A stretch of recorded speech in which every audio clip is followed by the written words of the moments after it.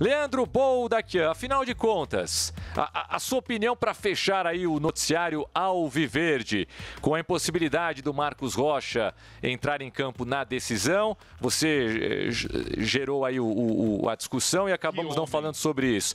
Você acha que quem vai jogar, o Marcos Rocha no Campeonato Brasileiro ou, o, afinal de contas, o glorioso Abel Ferreira já vai começar a escalar um substituto para ele da Libertadores no Brasileiro mesmo?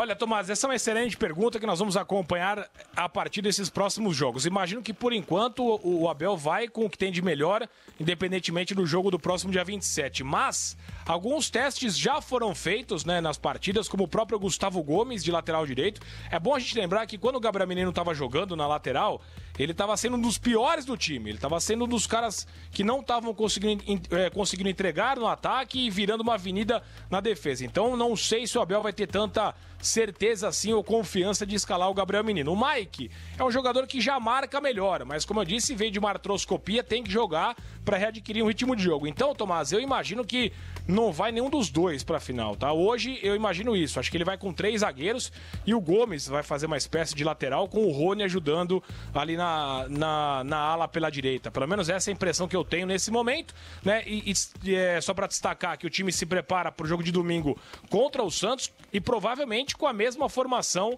né, do último domingo, com o novo titular Gustavo Scarpa, Opa. com Rafael Veiga, Dudu e Rony formando o quarteto ofensivo na vaga do Luiz Adriano, a tendência de mesmo time para encarar o Santos, o que também aumentam as dúvidas para o dia 27.